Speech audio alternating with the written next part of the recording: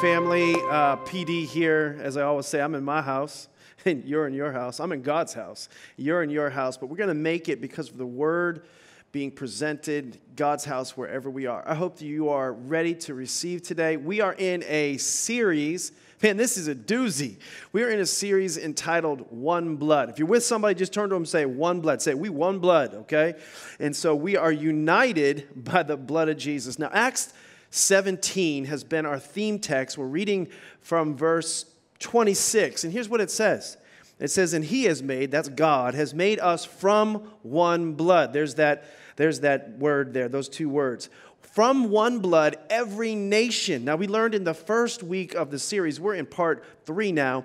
We learned in the first week of the series that this word nation refers to ethnos, people. So he has made from one blood, one man, one woman, uh, a people, every people, men of men, to dwell all over the face of the earth. And he has determined their pre appointed times and the boundaries of their dwelling. He determined where you live, the location you live, the time and season you would live he predetermined that. And that's actually in some cases it's an advantage. I think for me it's an advantage. I'm glad i was born during this predetermined time within the boundaries of the united states of america. Come on somebody. It's a little crazy right now but i'm still grateful for that. So as i um, get ready to get into today's topic, I want to review a little bit of last week with Pastor Devin, who did a fantastic job in the second part of our series. We learned a few things, a really few key, and there's so many things that he unpacked that were very principled. I think it's really important for us not to just have rules and, and regulations and policies, but principles, because principles have flexibility to them. They help us with the dynamics of relationships. But he basically said, remember though, it's about influence. And, and, and it takes a lifetime, in a sense, to build, years to build your influence, but you can lose it in a second. So we want to be really, really careful in how uh, we navigate a lot of our people interactions and a lot of our relationships. Another thing that we learned from Pastor Devin, we have to kind of adopt a different posture as believers, and that is, um, you know, is, is that we can disagree politically, but we must love unconditionally because God his priority isn't politics, his priority is, in fact, people. and then, excuse me, thirdly, uh, one of the things that I love that he said is we got to make sure that we put the cross of Jesus Christ above the flag. Now, I'm proud to be an American. I feel like singing a song there. I, I definitely have a sense of nationalism uh, and I believe in the democracy of our country, but theocracy trumps democracy. Uh, I'm a citizen of heaven uh, because of the blood of Jesus Christ, before, even above my citizenship here on earth. And so I hope that you will uh, continue to look through. Uh, the lens of these principles as we continue in our series. Now, in week one, um, I talked a little bit about, you know, really how the nations of the earth came to be. Uh, through uh, originally scattered because of the Tower of Babel, and I unpacked. You should go back and check that out. What happened there, what God had to do there, where He ultimately restores it, or how He, he how He is. Um, a plan to restore those things for us. Uh, um, later, you'll see, you know, through, through the book of Genesis, how uh, the whole earth was destroyed with the flood, and then there were just basically eight people on a boat, and then once again, the people of God were scattered around the whole earth. But one of the things I wanted to encourage you was from something we can take from the book of Genesis, which I'll probably allude to a couple different times, but within this uh, text and many others like it, we can see throughout Scripture, as my daddy used to say, Scripture is replete with the notion. What a cool phrase. Uh, what does that mean? It just means it's a common thread throughout Scripture that unity is important to God. Come on, turn to your neighbor or write in the chat unity. Unity. Unity is so important. Unity and diversity, those kind of things are they can they can be married together. One. In fact, Jesus when he prayed his final prayer in John chapter 17, he prayed, "Make us one. May they be one as you and I are one." Is what Jesus was saying there. And so unity is clearly a big deal to God. Now, in the book of Psalms, there's a principle uh, um, uh, really a blessing, a, a favorable condition that is a byproduct of the people of God, believers, coming into unity. That's not the only place, but it's just one I'd like to highlight. It's Psalm 133. It's a great devotional. It says this read this with me. Um, it says, For brethren, you know, how good and how pleasant it is for brethren to dwell together. Do you know you can be together but not necessarily dwell together? You can be in the same room, uh, inches apart but miles apart in your heart. God's telling us in Psalm 133 how good and how pleasant it is when brethren, believers, dwell together in unity. There's that word unity. It's like the precious oil upon the head, running down on the beard, to the beard of Aaron, running down on the edge of his garments. In other words, this anointing attracts unity. And, and, and it, it, this, it's, it's, it, it just pulls it in. And then it says it's like the dew of Hermon, descending upon the mountains of Zion, and then it says something really profound that I wanted to, wanted to see pop for you. It says, For there, where, Pastor Deryck? For there, where, everybody? For there, where there is unity, where people dwell together in unity, the Bible says the Lord commands a blessing. Come on, somebody, that'll preach. Where there is unity, the Lord commands a blessing. He will anoint and he will bless people who dwell, who live together, who interact with one another in all their differences and all their distinctives, and they come together as one in unity. And when they do, the Lord commands them. You know, when the Lord commanded something, the heavens and the earth were formed, night and day was separated, the oceans were formed, the, the beasts of the field and the fowl of the air, and, and all of creation, because He just commanded it. And so, if you want to know the power of God, when He commands, commands something, it happens. And so you can be blessed when we come together in unity. Every uh, meal in my house uh, since the children were very young, knee high to a grasshopper, uh, uh, they have had this, we have had this declaration that we always say. As soon as, the, as soon as we say our prayer, we conclude and say, As for me and my house, we will, we will, we will serve the Lord. That word we really popped uh, when I began to think about this declaration. See, a lot of times it's, it's me, myself, and I. I'll serve the Lord, but I'm not doing stuff with other people. I'm not going to dwell together with one another. God wants. Uh, our house will be blessed, our businesses will be blessed, our families, our marriages, our church will be blessed when, when we serve the Lord together, when we come together as one. You know, when Jesus prayed in the, in the text that I, I referenced earlier in John 17, make us one, Lord, he prayed that five times in that one text. It's important that there be a, a we factor and not so much a me factor. Even in the Lord's Prayer, it starts with, Our Father, who art in heaven, hallowed be thy name. It doesn't say, My Father. It doesn't say that. It says our Father. There's a, there is a collective, there is a, a joining of one another, there is a coming together. Our Father. This is where that hour of power is in. And Jesus is trying to remind us that we are, from the very beginning to the end of the Bible, we are one blood, we are one family, we are one nation under God. We are, as for me and my house, we are one household that serves the Lord. We must come under the Lord's leadership. And so I pray pray that He speak to you uh, by His Spirit about the importance of us being united. That we focus on what we are in a we are united about, not on all the things that we differ about. And so Psalms reveals this powerful secret that that, that there in that place there is in fact a blessing. And so where that will happen with marriages, and that will happen with with all aspects of life and family and businesses, and in particular, I'd like to say uh, to our church. But we have to let go of the me, myself, and I. We have to stop that. You know, we used to sing this song when I was a, a, young man. My dad, I can hear my daddy's voice singing. He's sick now, so he, he can't even remember all the songs that he once did. But for a while there, when he was struggling with dementia, I could begin to sing songs and, and he could pull those out. And he used to sing, Let's forget about ourselves. Concentrate on Him and worship Him. Let's forget about ourselves, and concentrate on Him and worship Him. Let's forget about us. I'm getting into it right now. I've been singing this all afternoon in preparation for this song. But the point is, it's not about me.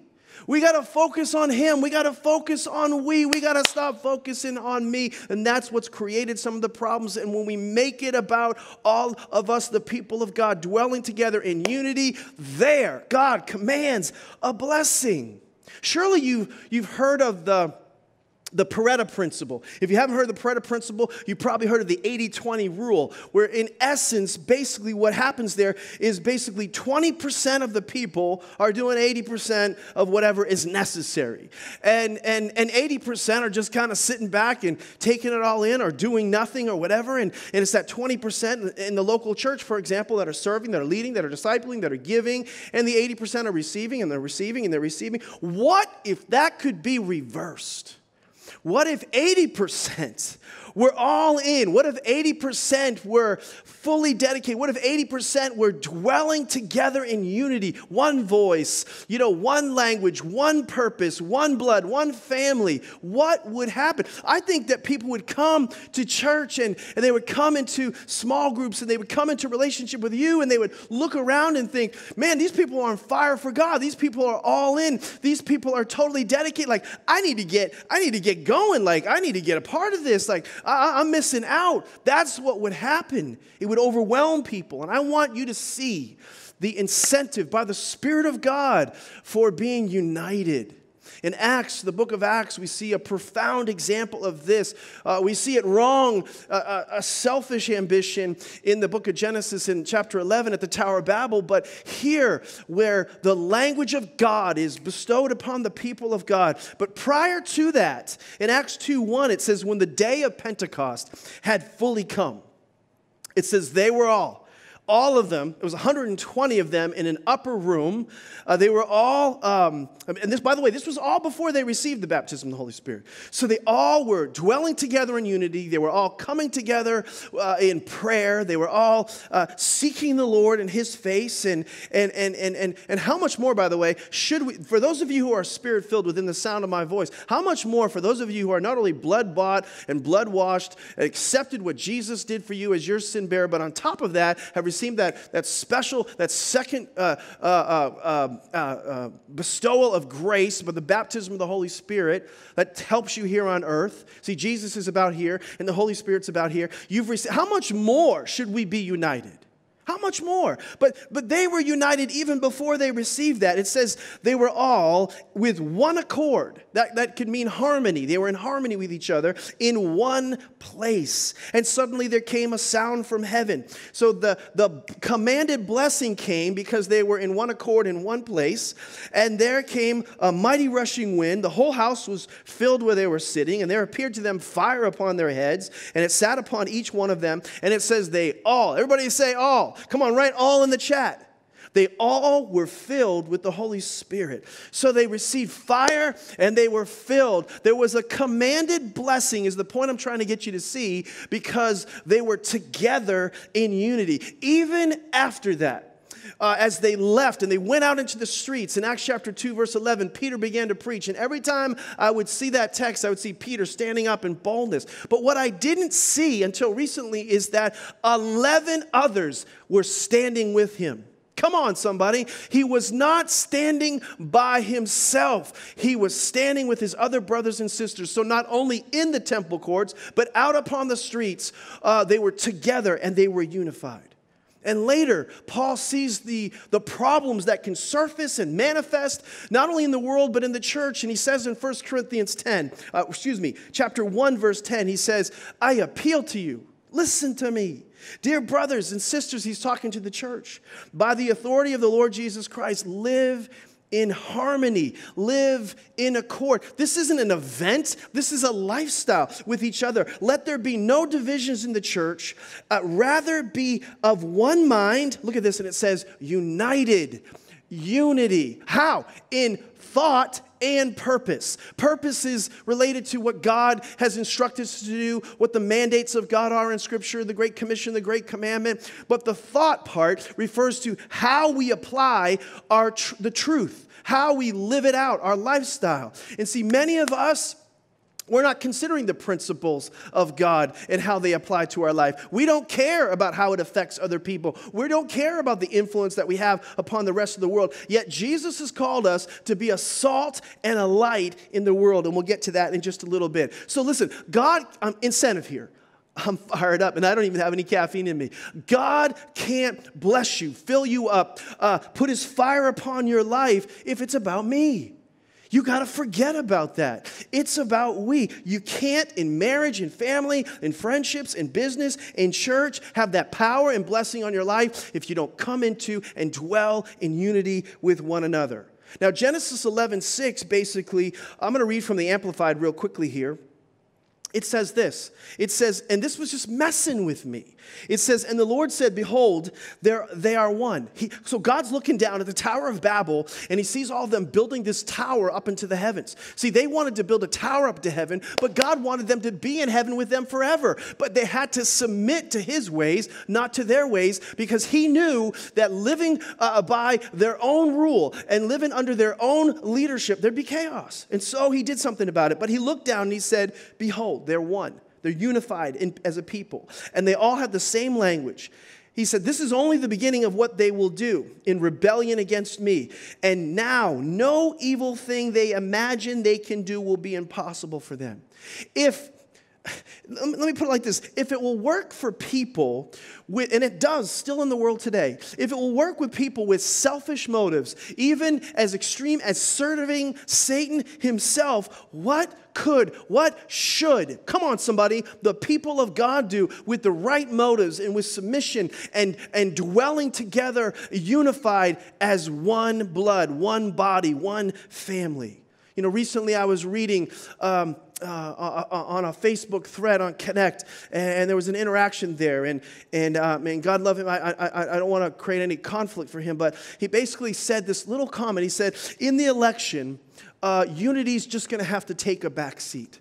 And it just troubled me in my spirit because it goes against everything I see in Scripture. Uh, as I read my Bible, unity can never take a back seat. Unity needs to be in the front row. Come on, everybody. And so I want you to see that as we continue to dialogue and dig into some of the particulars related to our race and relationships.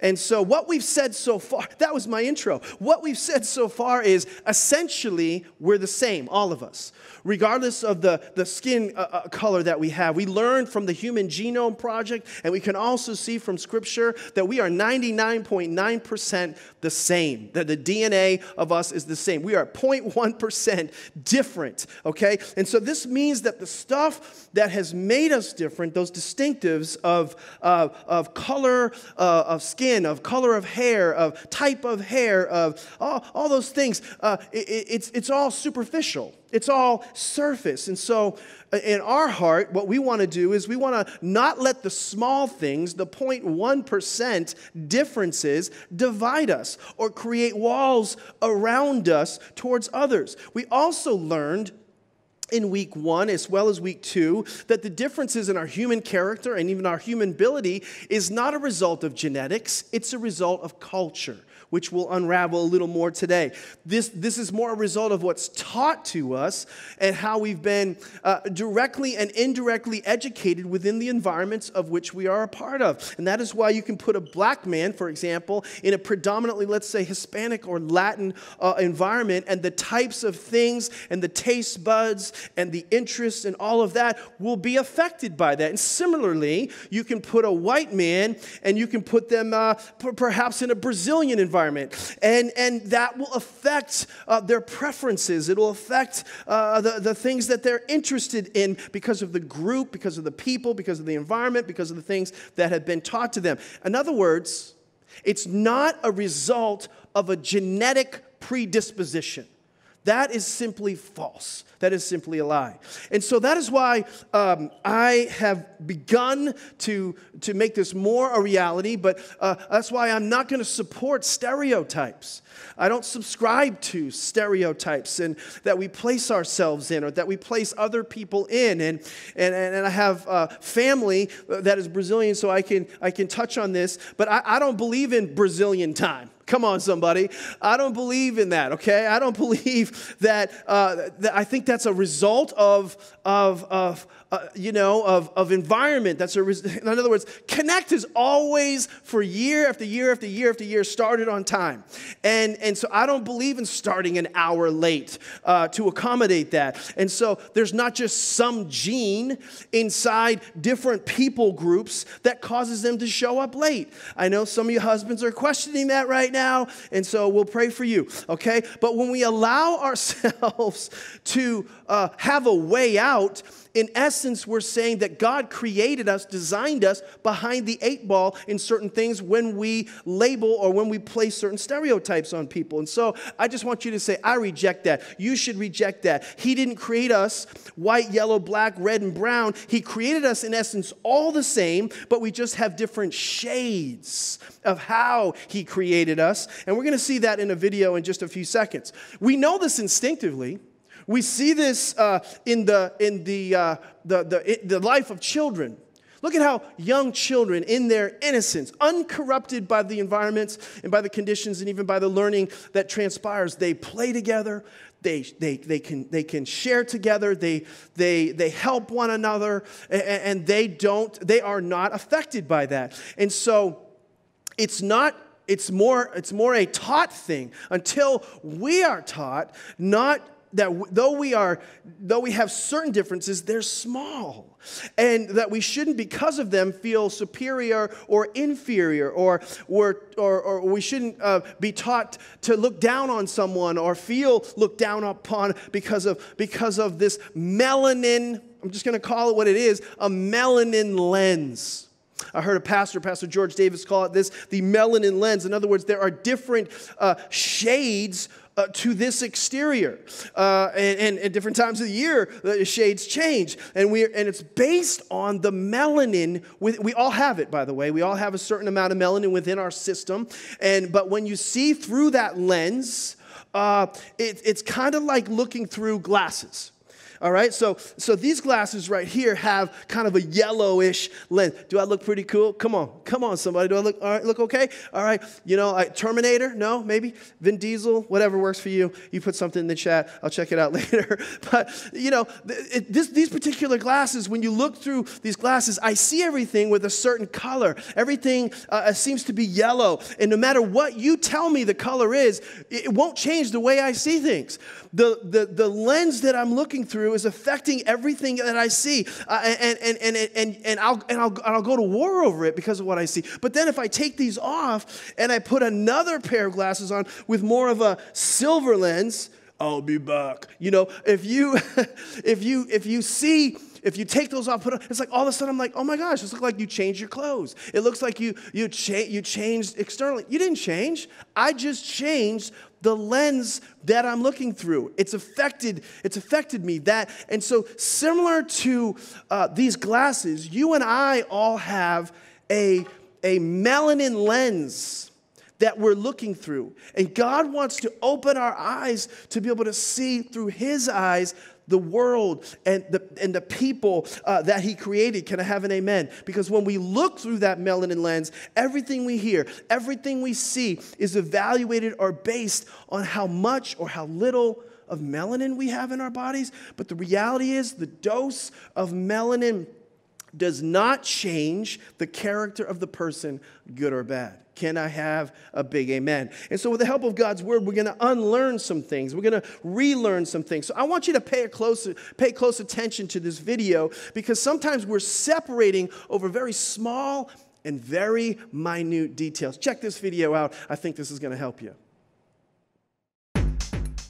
I hear this one a lot. How can there be so many races in the world if we are all descendants of Adam and Eve? Well, check this out. First off, let's talk about the word race. Sometimes when people use the word, they mean supposed races of people who have evolved at different times, rates, and in different locations. That's not true. Of course, the word race is also a term we use to distinguish between groups with different physical traits, namely skin color. But are there really different races? Take a gander at Acts 17:26, where it is written that God, from one man, made every nation of men. It's clear then that the Bible teaches that there is one race, the human race. The Bible is also clear that all people on the earth are descendants of Adam and Eve who were created by God. Check Genesis 1 26 through 28. Easy enough. God created two people in his image, male and female, and told them to increase in number. So, Adam and Eve are mom and dad of the human race. Then, their children had children, and those children had children, and so on and so forth for many generations until, according to Genesis 6 9, the world's population was reduced to eight people who were protected inside an ark during a global flood. And those eight people later walked off the ark, and according to Genesis 9:19, from them came the people who were scattered over the earth. Oh, wait a second. What do I mean scattered? Well, jump over to Genesis 11 and let's talk about an event known as the Tower of Babel.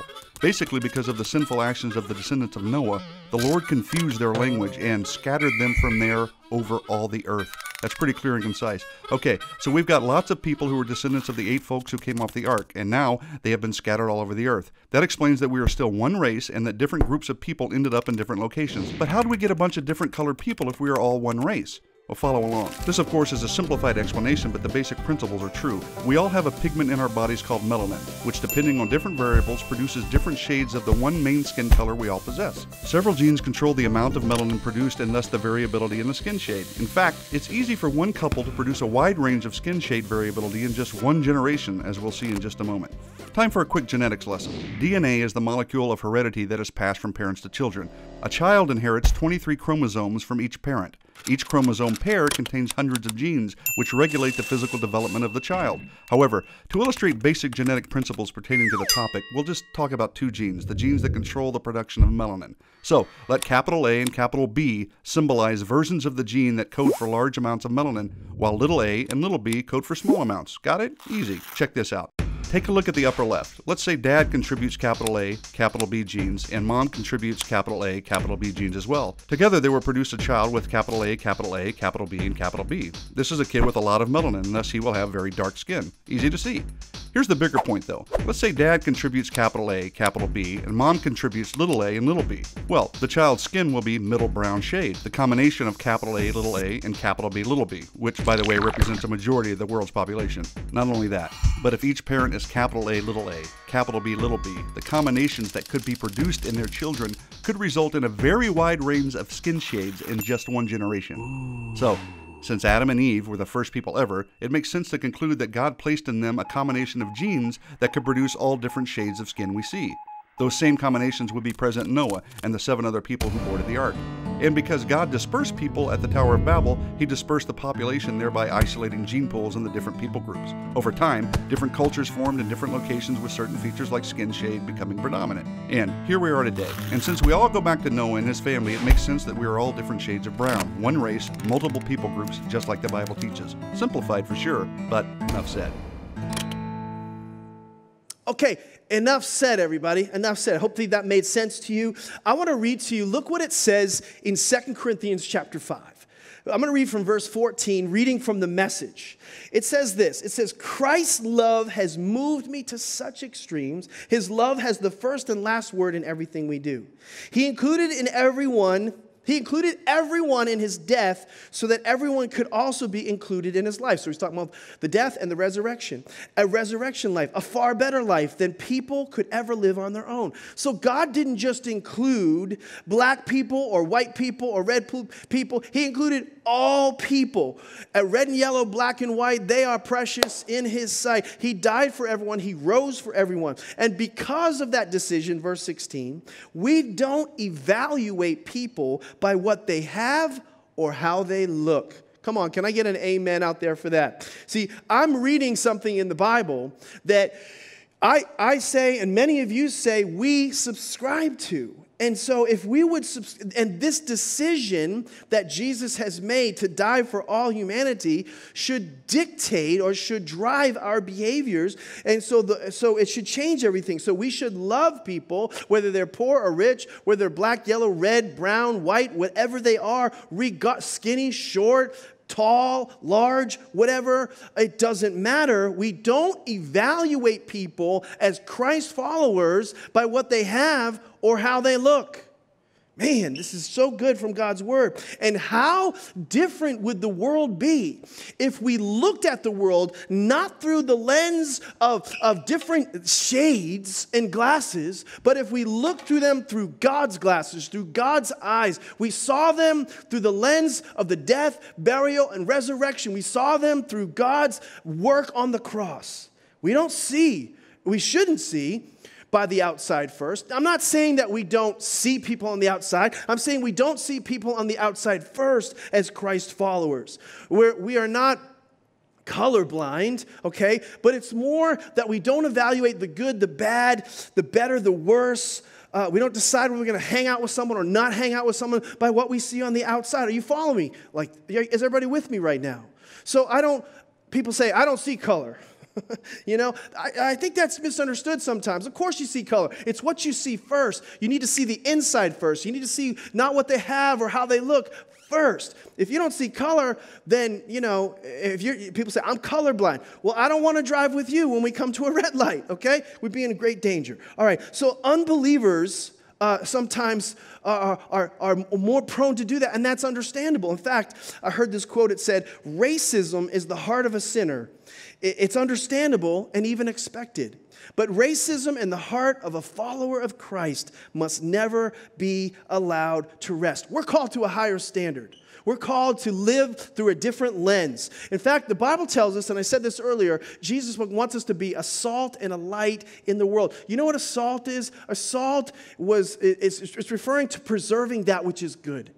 Light is, is referring to eradicating darkness, okay? So God is calling us to preserve the good, keep the things that are good from going bad. Eh, God is calling us to be a light, to, to it's powerful. By the way, light is always more powerful than darkness, and it eradicates darkness. And we must banish it with the truth of God's word. So, how do we become a salt and a light? Write this down. If you're taking notes, I got a lot to do in a little bit of time. Write this down we first must judge one another by the present, not the past. By the present, not the past. Paul said this in Philippians 3:13. He said, "Of course, uh, friends, I really don't think that I've already won it. The only thing I do, however, is to forget. Everybody say forget. To forget what is behind me and do my best to reach what is ahead. So, Paul, a very learned man, a very scholarly man, spoke many languages. The guy was a genius. He's basically saying, I don't care about all that. The thing that I've learned to do well is not all of that learning. The thing I learned to do well is to forget what is behind me, okay? And some of you need to do that. You need to be, uh, you'd be way better off if you could learn this skill of not living in the past, but making sure that you're focused on the present. And some of you, it doesn't even have to apply to racial injustice, it just applies to relationships. Some of you, you're, you're, you're focused on a divorce and you're living in depression and you're, you're focused on that man, what he did in the past, and you're applying it to every man here in the future. And come on, somebody, you need to learn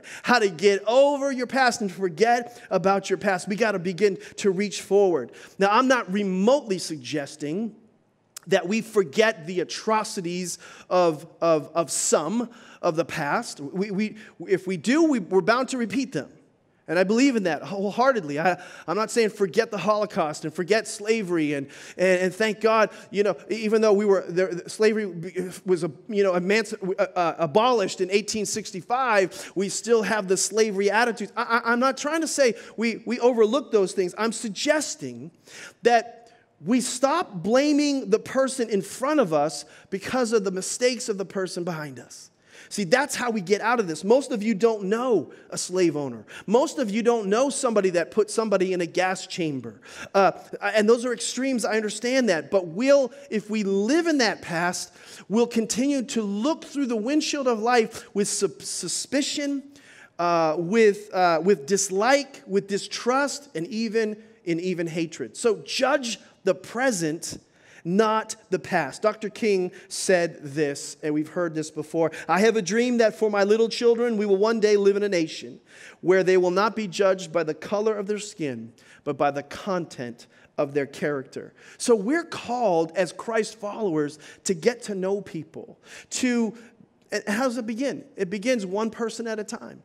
It begins one conversation at a time. It begins one decision at a time over time. That's how we'll begin to turn the tide on all of this. And Jesus has provided for us as Christ followers and he, uh, a solution. And he has, broken, he, has, he has broken the power of the enemy. Ephesians 2.14 says it like this. The Messiah has made things between us that we're now together on this. Both non Jewish outsiders and Jewish insiders. He tore down the wall we used to keep, that used to keep us and others at a distance. There was a wall in this time between Jews and non Jews, insiders and outsiders. Interesting language. But verse 16 says, Christ brought us together through this death on the cross. Verse 18, it says, He treated us as equals and He made us equals. So, because of what Christ did, all Jews, non Jews, whites, blacks, reds, browns, yellows, it doesn't matter. He broke down the wall. We are all now equals. That means we when we go to heaven, we can all go to heaven, the same heaven. We don't go to a black heaven, a white heaven, an Asian heaven, a Brazilian heaven. No, we're all going to the same heaven as one family. So heaven currently is confused because Christians are not tearing down these walls, we're continuing to build them up. And those walls have been torn down because of what Jesus did. And some people hear what I'm saying and they're thinking, yeah, you know, that's you know, that's the problem. You're a sellout, Pastor D. You're, you're one of them Uncle Toms. You, you need to get woke. I want you to know something. I'm wide awoke. Okay, I understand what I'm saying. I'm just living, I'm just trying to get you too to live with a solution mindset, not rehashing the problems of the past. Are they important? Are they meaningful? Yes, but we have to continue to look forward like Paul and forget what is behind. Number two. If you're still with me, say amen in the chat. Number two, this will go faster. Gravitate towards truth, not racial division. Gravitate towards truth, not racial division. Now, in 1 Corinthians 13, known as the love chapter, it says things like love is patient, love is kind, love is long suffering, love is self control. But in verse 6, it says this. A lot of people miss this. It says, It does not rejoice about injustice, but rejoices whenever the truth wins out. Let me translate that for you. You might want to write this one down. Love doesn't choose a racial side, it chooses a righteous side. Love doesn't choose a racial side, it chooses a righteous side. Love doesn't pick. Um, sides in a verbal battle or a media uh, battle or topic or whatever it, uh, based on racial lines but based on righteous lines. What am i saying? How do i impact that? Well wrong is wrong and right is right. Now if you don't have an absolute standard in your life we're going to have a lot of problems. I, I, that's another thing that i have to address uh, and you have to address in your christian experience. Do you have an absolute standard? But wrong is wrong and right is right regardless of the racial dynamic period and that has application that's touchy. And I'm going to try to touch on it a little bit, known to do that. But there have been shootings, for example, uh, this year, years gone by, uh, seems like an increase that have caused an eruption of emotion within our country that seemingly is insurmountable. And I'm not going to attempt to surgically unpack the different ones, first of all, not for time. But you think about, you know, uh, Trayvon Martin and George Floyd and, and, and Breonna Taylor and all these, these things. I mean, you just talk about intensity. But, but these events, here have been catalytic for, I believe, the end times. Because the Bible talks about nation will rise against nation. Remember in week one, we talked about that, okay? So, one of the signs of the end times would be racism. And so, I believe it's going to increase in the world, but it should decrease in the church of Jesus Christ okay? And so, uh, suffice it to say that these types of experiences, too many to mention, have created huge division in our country. But what usually happens is there's division over these racial issues. One goes to one side, one goes to one another side, one goes to one corner, one goes to the other, and it's it, and, and they don't gravitate towards truth. See, what I'm trying to get you to see, remember the principle where we need to gravitate towards truth, not towards racial lines. So, in most of these scenarios, when they happen, Christians, I'm speaking to you, what happens is it, becomes about a white life and a black life, not just a life not just a life. Uh, somebody, somebody was murdered, somebody was killed. It's not about white and black, it's about somebody, a life that was murdered or killed and being cut off too soon or unfortunately. If I can just share my opinion here. And I'm, I'm introducing this as opinion, okay? And I'm trying to do it carefully and also quickly. But Let's go back a little bit, kind of point in case. Uh, it's still touchy though. Back in 1995, 1995, I'm going way back here, okay? The trial of the century, O.J. Simpson's. Uh, allegedly kills his wife, okay? And he's on trial for the murder of his wife. And the, I remember when the verdict was announced. Um, and and I, again, I wasn't in the I wasn't in the courtroom. I'm just going by what what TV and what media had presented, but seemingly the evidence was overwhelming in strong support of a conviction from the television, but he was acquitted what was interesting to me was the racial divide because on the streets the black people were celebrating and in their homes the whites were angry and upset. And you can see it on tv and the different networks. And i'm trying to just say this is about racial lines. What i'm saying is never choose sides on what right what's right or wrong what what is right or what is wrong based on race. I'm saying Christians must have a different mindset from being pulled to left or right touchy. If a white police officer kills a black person, we're outraged. And we should be. And, and, and we march and we protest. But if a black person kills a black person, in some cases, we don't tell anybody. There's kind of this no snitch rule that's out there. I'm trying to get you to see the racial lines that manifest. So, does the life of one matter more uh, because it was taken by a white person, or does life, all life, matter? The life matters no what, no matter who is behind the trigger that pulled it, is what I'm trying to get you to see. Please hear my heart here. So, so stop being silent. No matter what the color of the skin, the gender, the nationality.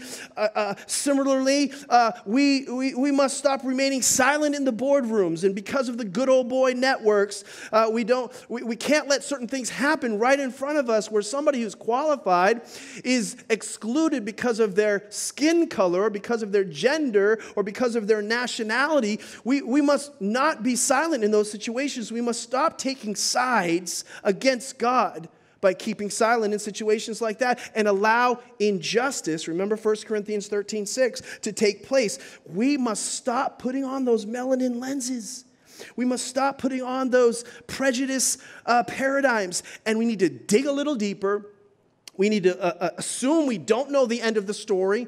We don't walk in and go, oh, these people and those, we think we got it all sized up because of the past. Has ha- these types of things have happened before, and so they're going to happen again. And do these things make your blood boil sometimes? Sure. But do we throw away God's word and God's ways because of it? I would say no.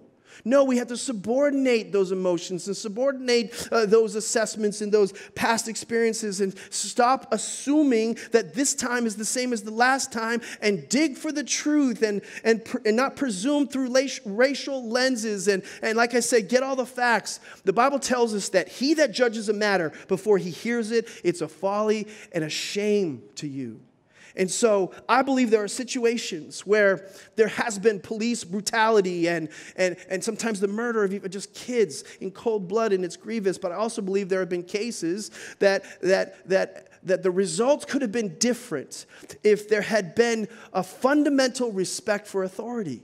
I'm just trying to get you to see there's, there's both sides to this thing, and there are situations that if that person had, had, had done what they were supposed to do, which is respect authority, there could be a totally different scenario in some scenarios, not all. And, and why don't we do that? Because it's just, why don't we want to hear that? Because it's just easier to blame. I just want to say, as your pastor, I've taught all my kids to respect authority. I've not taught them just to respect police officers, I've taught them to respect teachers and coaches and their elders because I believe in the principles of authority. Listen, people, if we create a community that, that believes and that submits to authority, not based on red, black, yellow, white, whatever, that doesn't hate authority but respects authority, we'd have a different world. We'd have a different community. And that's how it should look in the church of Jesus Christ. That's the kind of church that I'm going to pastor. And so you don't want a society where there isn't authority and where there isn't a respect for authority. There will be mayhem. And so, in the end, uh, Dr. King said this also. He said, We'll remember not the words of our enemies, but the silence of our friends. So, I think a secret to this societal problem is that whites need to call out whites. And blacks need to call out blacks, and Hispanics need to call out Hispanics, and, and whatever ethnic group. When we see these things that violate God's word, God's truth, we need to call uh, each other out because it will be more successful when the person, the perpetrator, has the same melanin as I do, is calling that person out. I think we can get to the day, maybe in the Church of Jesus Christ, where we don't even have to have that sensitivity at all. As I conclude, and I know this has been sensitive for some, and there's a lot of things that are left unsaid, so please come back for the following messages in this series. Let me conclude with this final, final thought. Remember this there's one body and there's one family. I like to say, from one blood on one mission. See, there isn't a white body, a black body, a yellow body.